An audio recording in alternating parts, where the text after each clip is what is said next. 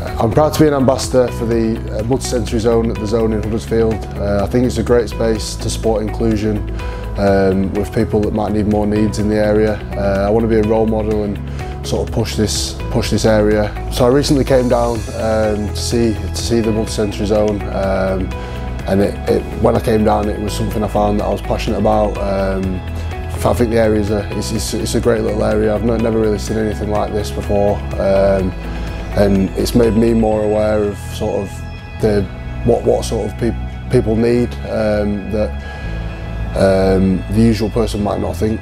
Um, but yeah, it's great, and I think it's it's good to raise awareness um, for this sort of thing around the area, um, and I think it's great for, uh, for people to come come and see, and uh, be great for people to use that um, sort of need the facility, and yeah, like I say, it's a great space. Launch of the area is on the 18th of April. Uh, in the meantime, if you'd like to find out any information, um, go to the Zone social media or the Zone's website.